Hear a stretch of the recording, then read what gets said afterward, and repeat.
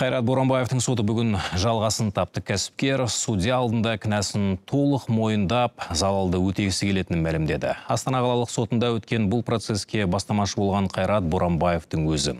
Ал өзге сотталушылар Роман Наханов пен Тайыр Жанұзақов оған қосылатындарын айтқан.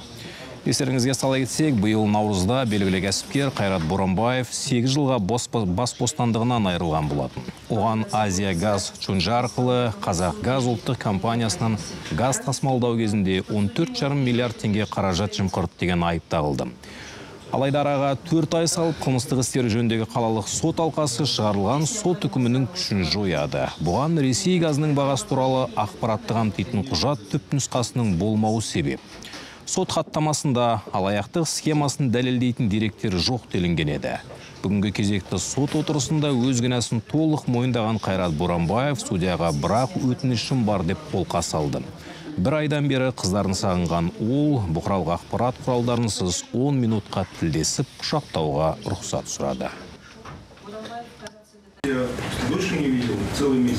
Здесь, в зале суда. Просто сегодня не успеем уже. Сегодня просто не успеет уже. Там как- как-то это Ребята, просто, чтобы вы дали разрешение.